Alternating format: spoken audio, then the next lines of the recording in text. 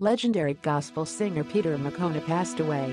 May his soul rest in peace. Mzansi has reportedly lost another music legend in Peter Mokoena. The news was shared by family member Steve Harris on social media.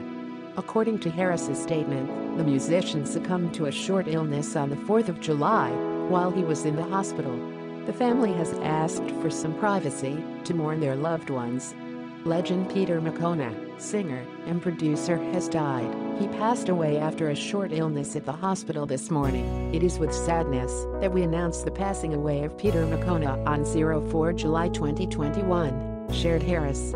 He was our brother, father, uncle, mentor, role model, singer, and producer. He will surely be missed by his family and close friends. The family asked for privacy to mourn.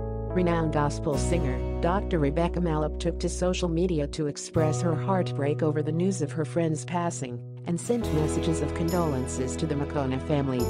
She also thanked Peter for his contribution to the entertainment industry. I am deeply saddened by the passing of the legendary Peter Mokoena. My heart goes out to his family and friends during this difficult time. She said. He was truly a blessing to the music industry. We thank him for his great contribution. May God give him eternal rest and the family strength to bear this great pain. Lawang Solo. This comes off the back of the untimely passing of legendary singer, Dr. Steve Kekana who passed away last week aged 63 years old. The news of Kekana's passing was confirmed by his manager to the Sowetan. Yes, it's true, Tate Steve Kekana is no more. He died in the early hours of this morning and we are waiting for more details from the family, Majosi said. I spoke to his wife and she confirmed that he's no more. He was fine the last time I spoke to him. I spoke to him last week over the phone and we were having an event around him but had to cancel due to the latest lockdown regulations. The entertainment industry is also mourning the passing of popular Muvhango star Mutoti Nesha, who, according to reports succumbed to COVID-19. His family stated on the 1st of July 2021. With great sadness, we announce the passing of Mutoti Nesha on July 1, 2021.